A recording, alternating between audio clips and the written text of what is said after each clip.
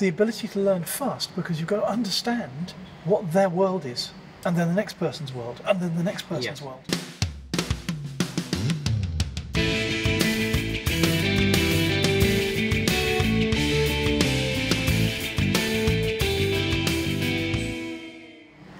the reason why I did this uh, presentation, The Naked Architect, is about you underestimate the skills needed by Yeah. an enterprise architect by a magnitude.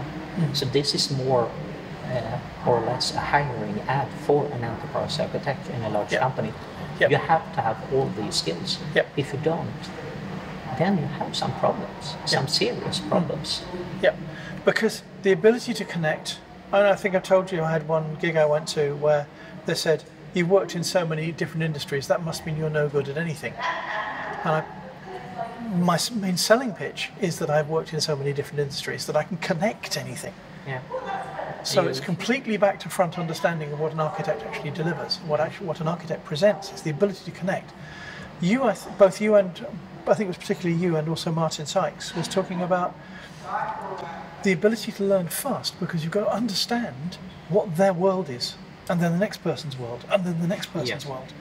So you've got to be able to connect to a new field and get a basic fast. understanding very fast. Because you're dealing with, with any decent sized organization, you're dealing with hundreds, if not thousands, of specialities, each of which you can spend no more than a week understanding. yeah. Or often less. Yeah, so it's making those connections, the ability to make connections and pick up the basics to have to in fact the test I use is can I ask a question that actually makes sense that is the right level of stupid. It's perfectly okay to ask a stupid question if it illustrates that I actually do have an understanding of somewhat of what they're on Yeah. about. But I've got to understand at least the basic jargon, the basic Yeah. terminology, the basic drivers. Then I can ask a useful stupid question. Yeah, you have to have an overview of the Yeah. business. Yeah. And this is why I recommend when you're doing a new architect assignment is to uh, uh, read the annual report for the company. Yeah. Because it states very much what it's doing. It also tells you a lot of search areas. It's giving you basic the basics of a data model, Yeah. information model certainly, the basics of the drivers, the motivation structures, the um, the stakeholders. It's giving you all of those things just in one report. What, what do they focus on?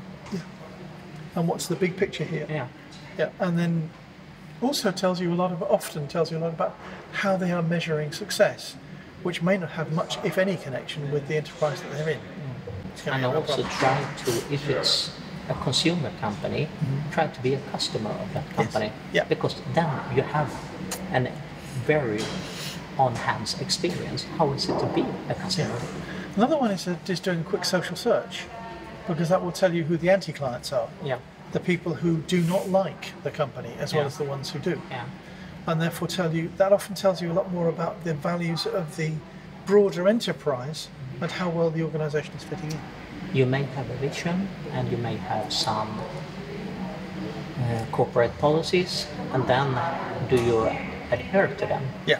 So the difference between espoused and actual values is another Yeah. classic one. Yeah. Hence, again, the um, that the value of Stafford Beer's phrase about POSIWID, about the purpose of the system, is expressed in what it does.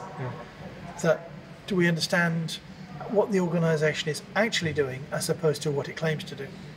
Uh, for example, one local supermarket here, it's, it talks about Plan A is to be uh, completely independent, sort of completely recyclable and everything, and almost none of its products are recyclable. Yeah. So there is a mismatch straight away. Uh, it's about uh, It's about not actually following Yeah. through. Yeah, Uh, not in not in the case of deliberate for shortcutting, because they do have a strong reputation. It's just Yeah. someone's not been making connecting the dots. yeah, That's again what I th- talked about before about what I call dotting the joins. Is that every time we have someone who's joining the dots, something else comes across and cuts. That it fragments it. As fragmentation is an issue I'm concerned about all the time. and the customer experience that Yeah. is the whole part of the company. Yeah. How do we get? In which case, that leads us back to enterprise architecture. What is the customer experience of enterprise architecture? One of the things I'm looking for is to is to get people to say that actually helped. This actually makes sense. A concrete example, in this was in Australia Post. We built a what was effectively a capability model, and you know you've got success and customer acceptance when people nick your work, they steal your work. Yeah. Every single manager downloaded a copy of this diagram and you had pinned it up on their wall. And they used it for all manner of different things like um, induction, you know, onboarding. Yeah. They used it for showing people where other people were working, Yeah. where we fit within the whole. It was used by virtually everyone. Yeah. And that's the kind of thing where people say, this stuff is actually useful. So when people copy your work, that's the best flattery Yeah. you can have. Yep. I did a trick in another environment where I used to sit up in the cafe in the foyer with lots of interesting diagrams sort of sitting on the table, hog a large, uh, you know, occupy a large table, at least this size, and leave diagrams scattered over the table while with us working on the laptop. So that would act as a magnet for people who were likely to be interested in what we're doing. Yeah. So it's little sort of, again, pull rather than push. We're not selling, we are the answer. We're just saying, we're trying to get things to work together. You interested? Which is that architecture is the responsibility actually of everyone, not just of the so called architects. The role of architects to me is like in a. Um, like health and safety, it's everyone's responsibility. But there are certain people whose job it is to remind us Yeah. that it's everyone's responsibility and to collate the information about that special specialism in the same way about security, about um, financial probity, about business ethics. There are Or people. litter. Yeah, sorry, litter, yeah. litter, yeah. Yeah. Envi- uh, sort of um, sustainability, environmental management, minimisation of waste, as you say. Yeah. So there are people who are involved with this, who could guide and build awareness of this, but it's actually everyone's responsibility. It doesn't work unless it's actually everyone's responsibility. They have they have to understand it. Yeah. So and yeah, they build, have to agree with it. yeah. And then it's if it's made their life easier, they will do it. So that's one of the other things. Is that one of the jobs that we can do as architects is to make it easier for them to take on the responsibility of architecture, and that's where that big space comes in about being able to see what's going on, about being able to lift those things.